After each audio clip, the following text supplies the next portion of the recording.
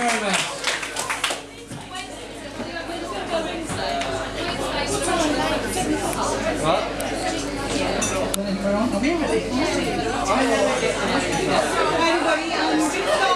Um, uh, a song made famous by Mae West. And for those of you who didn't know, in the um, in, during the war, the Allied troops used to call their life jackets Mae West after the rather voluptuous figure that Mae West had.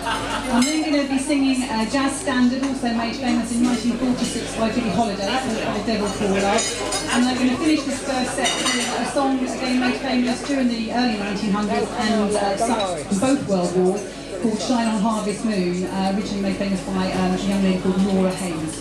Thank you.